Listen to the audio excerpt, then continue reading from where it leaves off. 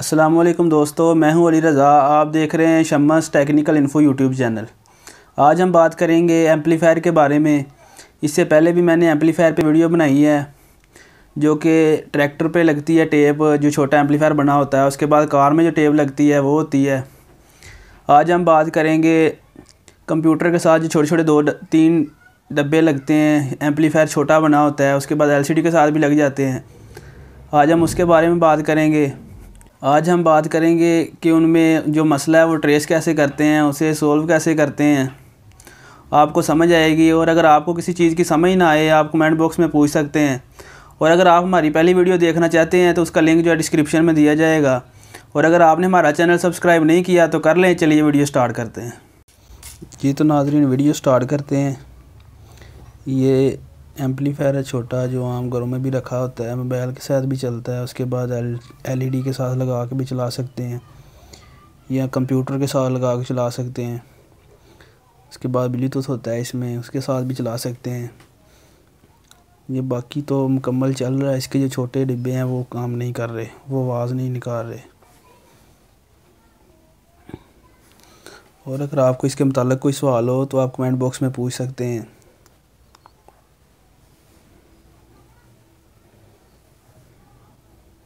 ये बड़ा जो है शोर की वजह से हम पीछे वो आवाज़ नहीं चला सकते। इसका बड़ा जो है वो चल रहा है और छोटे जो हैं वो ना बंद हैं।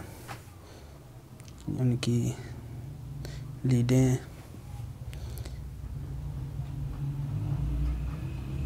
ये खोला हमने।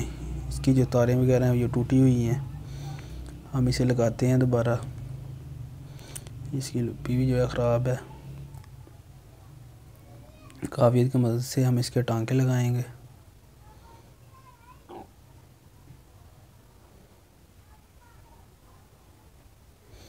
और अगर आप हमारी पहली वीडियो देखना चाहते हैं, जिसमें हमने कार टेप और ट्रैक्टर टेप जो चेक करवाई थी, और उनको चेक करने का तरीका बताया था, उसका लिंक जो डिस्क्रिप्शन में दिया जाएगा, आप देख सकते हैं। स्पीकर के टांके जो अच्छी तरह लगा लें।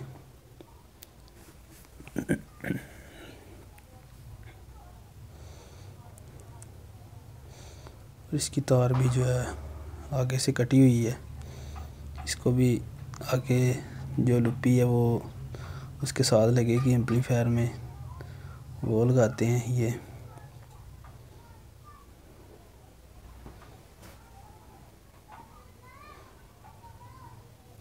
तारे अच्छी तरह लदा लदा कर लें और उसके बाद इसको अटैच करें।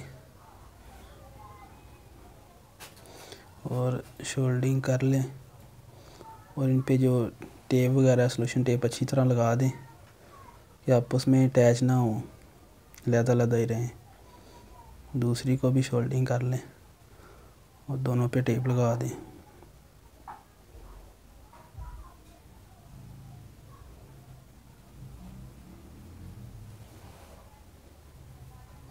अब हम इसे चला के चेक करवाते हैं कि इसकी आवाज़ जो है ना, छोटे डब्बे भी जो ठीक चल रहे हैं।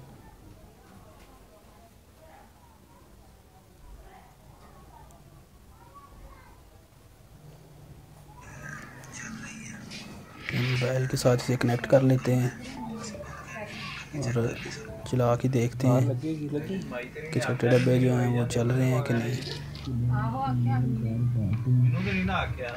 और न्यू तार है ये चैना का पर है मैं अपनी रिकॉर्डिंग ही चला के दिखाऊँगा जो पहले मेरी वीडियो बनी है वही। ये आम से पहले मैंने एक क्वाली वगैरह लगाई थी उस पर कापीराइट का इशू आ गया था। इस वजह से मैं अपनी रिकॉर्डिंग चलाऊँगा और चला के दिखाते हैं आपको।